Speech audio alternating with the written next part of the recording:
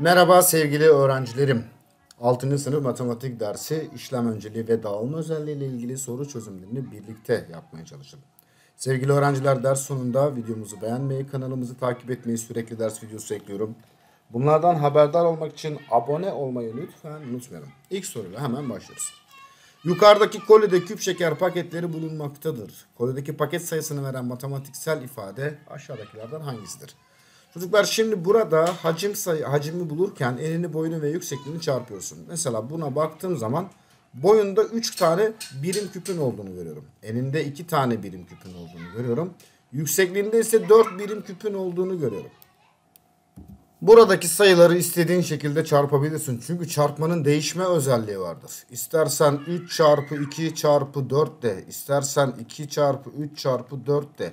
Oradaki sayıları yaz da hepsi çarpma durumundaysa istediğin sayıdan başlayabilirsin. Doğru cevap B seçeneğidir.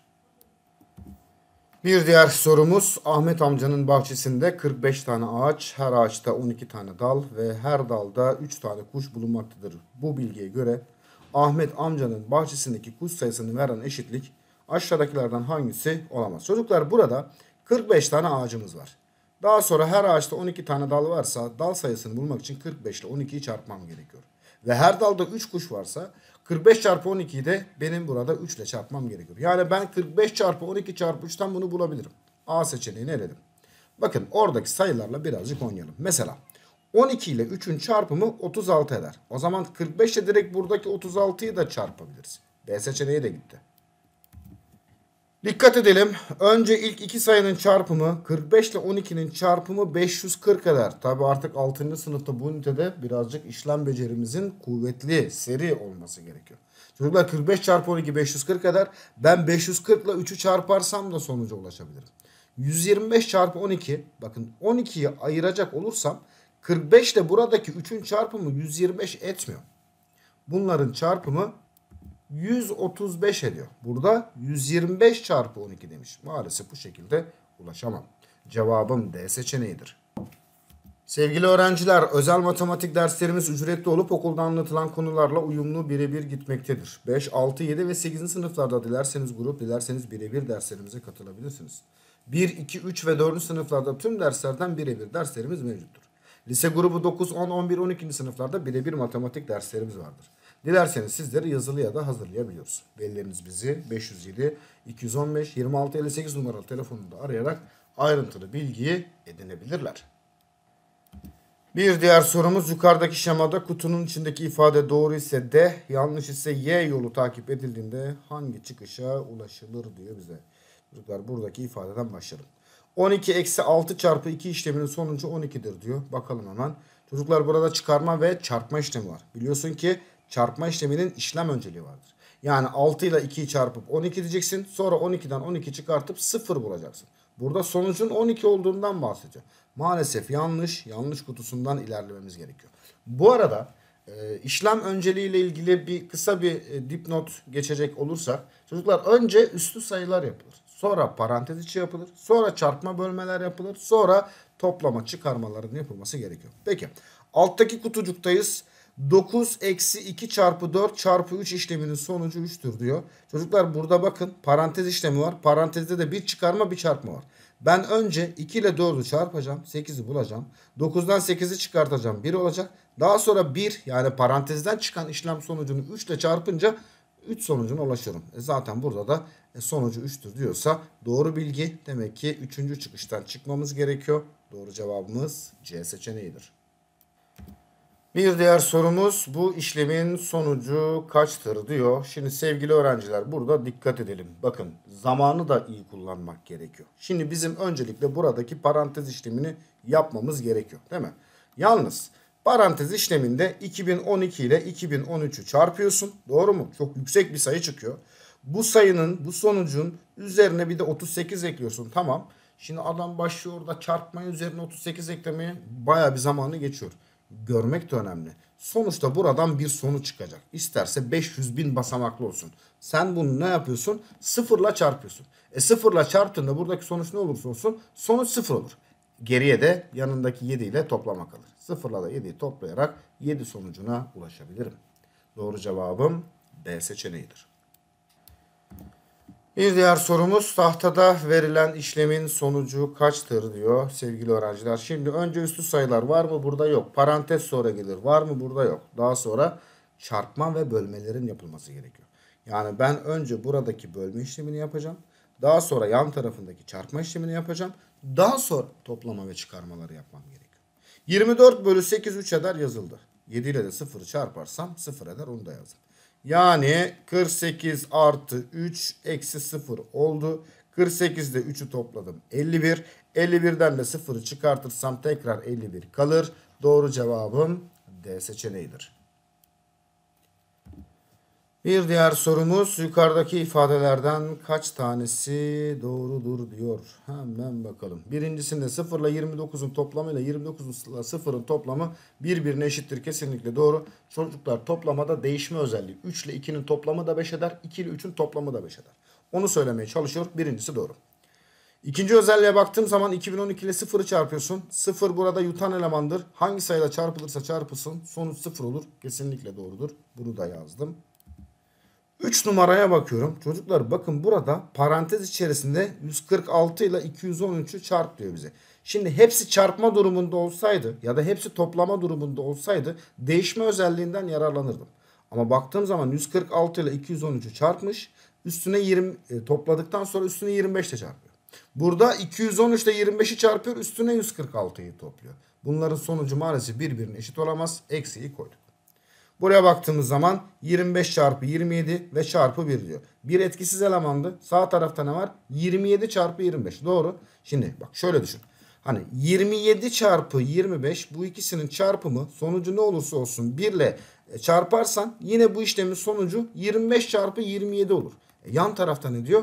Yan tarafta da 27 çarpı 25'ten bahsediyor. Çarpmanın değişme özelliği var. Çarpılacak olan sayılar değişse de sonuç aynı kalır. Yani bu iki ifade birbirine eşittir. Kesinlikle doğru. Bunlardan 3 tanesi doğrudur. Cevabım C seçeneği. Bir diğer sorumuz bu işlemin sonucu kaçtır? Çocuklar önce üstü sayıları yapmamız gerekiyor. Zaten parantez içerisinde 3'ün karesinin 9 olduğu 3 kere 3'ten belli. 4'ün karesi 4 kere 4'ten 16 olduğu belli. Bu ikisini toplarsam 16 artı 9'dan yani parantez işlem sonucu 25 olur. İstersen bunu kaldıralım. Değil mi? Ve bu işlemin sonucunu 25 olarak buraya yazdım. Peki ne kaldı geriye? 100 bölü 25. 100'ü de 25'e bölersen 4 olur. Cevabım A seçeneğidir. Bir diğer sorumuz bu işlemin sonucu kaçtır diyor. Şimdi biliyorsun ki üstü sayılar yok burada. Parantez burada yok. Devamında çarpma ve bölme. Eğer aynı işlemde çarpma bölme yani aynı basamaktaki işlemler verilmişse bu sefer ok yönünde soldan sağa doğru gidebilirsin.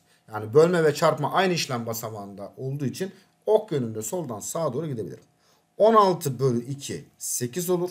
8'de de 4'ü çarparsam 32 sonucuna ulaşıyorum. Cevabım D seçeneğidir. Bir diğer sorumuz Hakan işlemin sonucunu hatalı bulduğuna göre ilk hatayı kaçıncı adımda yapmıştır? Bakalım. Serhat öğretmen Hakan'dan 46 çarpı 12 işleminin sonucunu dağılma özelliği yardımıyla bulmasını istiyor. Hakan ise sırayla şu işlemi yapıyor. Birinci adımda 46 çarpı 12'yi yapmış. Doğrudur bu. Sonra çocuklar 46 çarpı 12'yi burada 10 artı 2 şeklinde ayırmış. Sonuçta burası da 12 eder. Kesinlikle burası da doğru.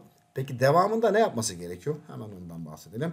46 çarpı 10 artı 2'den işlem sonucunu buluyorsun ya bak 460'ı bulmuş. Niye bulmuş? 46 ile 10'u çarpmış. Şimdi ben parantezin dışında çarpma durumunda olan bir sayıyı parantezin içindeki elemanlara dağıtıyorum. E 46'dan 10'a bir ok çektim. 46'dan 2'ye doğru da bir ok çekiyorum. 46 ile 10'u çarpmış 460'ı bulmuş doğru. Ama sonra 46 ile 2'yi çarpıp 92 bulması gerekiyor. Burada direkt artı 2 olarak demiş. Maalesef hata ilk hata 3. adımda yapılmıştır. Doğru cevabım C seçeneğidir. Bir diğer sorumuz 32 eş kareden oluşmuş yukarıdaki şekilde renkli bölgeyi ifade eden işlem aşağıdakilerden hangisidir diyor bize. Bakalım hemen. Şimdi 32 eş kareyi nasıl buluyorsun? Bunun dikdörtgenin alanı bulma gibi düşün sevgili öğrencim. Mesela bunun kısa kenarında birinci, ikinci, üçüncü ve dört tane karenin olduğunu görüyorum.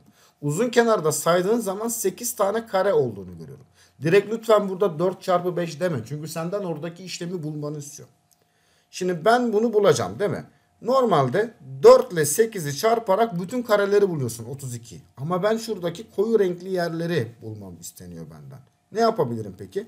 Çocuklar bakın koyu renkte burası birinci, ikinci, üçüncü, dördüncü, beşinci. Koyu olmayanda da birinci, ikinci, üçüncü.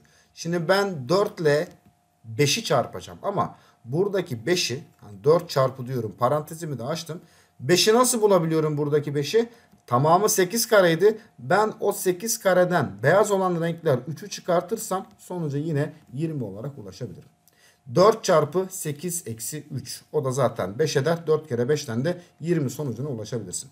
4 çarpı 8 eksi 3 yanıtımız A seçeneğidir. Bir diğer sorumuz yukarıdaki eşitlikte kare yerine gelmesi gereken sayı aşağıdakilerden hangisidir diyor bize. Çocuklar bakın ben sol taraftaki işlemleri biliyorum. Sağ tarafta ise bilinmeyen bir sayı var. O zaman biz burada soldan sağ tarafa doğru gidelim. Ne yapacağız? Çarpmayı toplamaya dağıtacağız. 99'dan 10'a doğru bir ok çektim. 99'dan 6'ya doğru bir ok çektim. Bu iki sayının çarpımı. 99 çarpı 10 dedim. Artı 99 çarpı 6 dedim. Bu eşitmiş. Eşitliğin sağ tarafındaki şu ifadeyi de aynen buraya getiriyorum. Şimdi lütfen dikkat et. Lütfen dikkat et. 99 çarpı 10 burada var. Burada da 99 çarpı 10 var. Sol tarafında 99 çarpı 6 var. Burada kare çarpı 6 var. Eşit olabilmesi için karenin 99 olması gerekmiyor. Doğru cevabım D seçeneğidir. Yukarıda verilen işlemin sonucu aşağıdaki işlemlerden hangisinin sonucu ile aynıdır? Yani bazı öğrencilerimiz halen burada sonuç bulmaya çalışıyor. İşte 1243 ile 100'ü çarpıyor, 1243 ile 1'i çarpıyor, sonra birbirlerinden çıkartıyor. Hayır, ben bunu pratik bir şekilde bulabilirim. Ortak paranteze alma vardır çocuklar. Ortak çarpan parantez. Bak, iki tane çarpma işlemi var burada. Lütfen dikkatli dinle. İki tane çarpma işlemine dikkat ettiysem 1243 çarpanlar ortak. Ben buradan 1243 sayısını aldım. Her ikisindeki 1243 sayılarını alınca ne kaldı? Parantezi açıyorum. İlk işlemde burada 100 kaldı. Diğerinde de 1 kaldı. E, iki çarpma arasında da eksi işareti varsa 100 eksi 1. E, 100 eksi 1'in de 99'a eşit olduğunu biliyorum. O zaman bu işlemin sonucu 1243 çarpı 99 da aynıdır. Doğru cevabım B seçeneği olur. Sevgili öğrenciler dersimiz sona erdi. Ders sonunda videomuzu beğenmeyi, kanalımızı takip etmeyi, abone olmayı lütfen unutmayalım. Ee, bu işlem önceliği ve dağılma özelliği ile ilgili bir videom daha var. Onu da yine takip edebilirsiniz. Herkese başarılar diliyorum.